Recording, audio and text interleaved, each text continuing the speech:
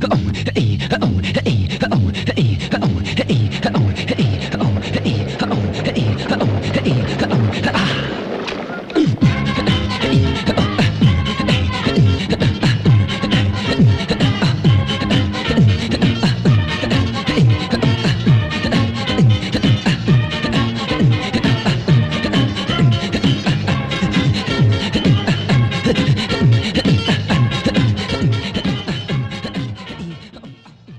Io non rinnego nulla di quello che è accaduto, però non posso non dire che in periodi passati succedeva anche questo.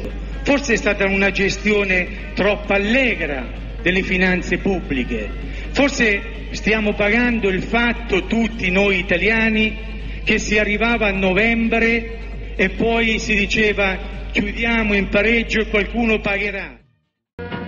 Servono 20 milioni, ma fa. 20 milioni. Hai capito? Hai combinato uno dei tuoi soliti casini, eh? Esatto, no? C'ha certi cazzi, ma fa che nemmeno tu che sei pratica l'hai visti mai.